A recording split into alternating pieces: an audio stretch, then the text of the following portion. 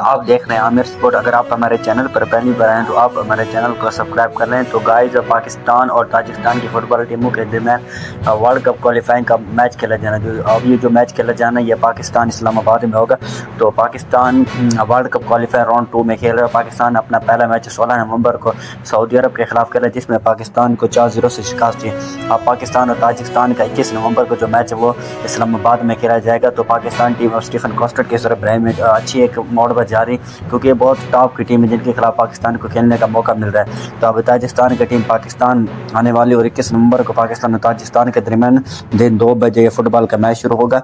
तो हमारी उम्मीदें बहुत हैं पाकिस्तान से अपने होम ग्राउंड के सामने कि आवाम है और पाकिस्तान फुटबॉल को सपोर्ट करें, क्योंकि हम जितना अपने फुटबॉल को सपोर्ट करेंगे, वो उतना ज़्यादा ग्रो होगी। तो पाकिस्तान और फुटबॉल अब आगे मज़ीद तरक्याँ हासिल करे, इसलिए पाकिस्तान फुटबॉल टीम अब ताजिस्तान के साथ इक्कीस नंबर का उनका मैच है। तो पाकिस्तान अपनी भरपूर तैयारी के साथ टिफ़िन कॉन्स्टेंट के सरमरे में ताजिस्तान के खिलाफ मैदान में उतरेगी।